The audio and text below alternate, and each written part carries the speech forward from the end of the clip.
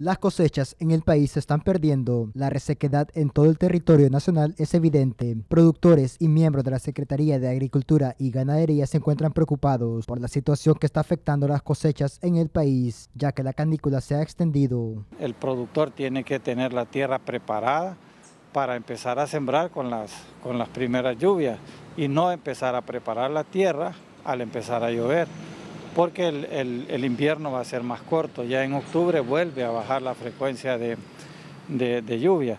El problema es que, que, se prevé es que eh, cae con una gran intensidad las tormentas, digamos, en el mes de, de septiembre, de 3, 4, 5 pulgadas de un solo, y después pasa un periodo largo de tres semanas, por ejemplo, sin llover y esto para los cultivos no es, no es bueno porque todo el agua incluso se va por escorrentía y no penetra al suelo. De igual manera recalcó que a raíz de las intensas temperaturas el producto exportable que más se está viendo afectado es el camarón. Incluso eh, hoy sale noticia que incluso el, el camarón está siendo afectado por la por el cambio climático y vamos a tener una reducción en la producción de camarón, vegetales, orientales, etcétera. Estos están a, asegurados porque tienen sistemas de riego.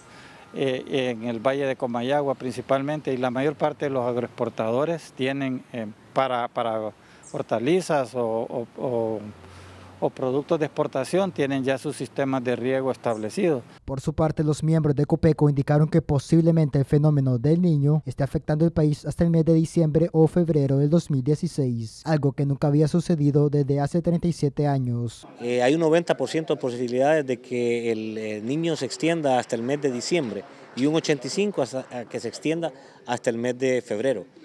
Esto nos vendría a dar que en los últimos 37 años vamos a tener este, este, esta sequía va a ser la más grande en los últimos 37 años, o sea, desde que se tiene registro. Hasta el momento la Secretaría de Agricultura y Ganadería está tomando diferentes medidas para que los pequeños y medianos productores puedan sostener sus cultivos, especialmente en la zona sur del país. De igual manera se conoció que la sequía estaría dejando hasta 10 millones de dólares en pérdidas en relación a las exportaciones de azúcar en el país. Este fue un reporte hecho en cámaras por Dani Hernández, Román Paz, Noticiero Campus Televisión.